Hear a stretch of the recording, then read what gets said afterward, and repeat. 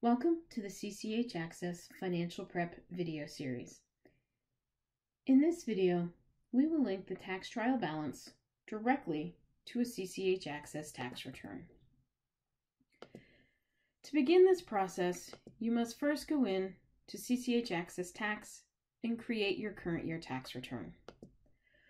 Once the return is created, in Financial Prep, in the left navigation, you can choose the Tax Summary Report, and in the top right, go ahead and select to link this engagement to a tax return. It will identify the corresponding client in tax, and we can now create the link between the trial balance and the tax return.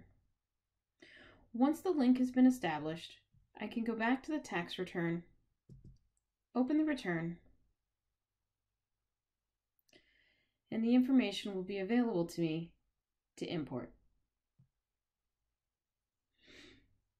Once I select to import the information, this will take a moment, but once imported, this will create a live link between my trial balance and tax return. Therefore, if I go back to financial prep and later make an additional journal entry, that information will flow to the return as well. So you can see it's importing all of the information from the trial balance directly to the return. Once finished, I'm going to go ahead and calculate my return and I'll see the information now available in my corporate tax return. So if I go over to the 1120 and I open up page one, I'm now going to see that information has successfully imported.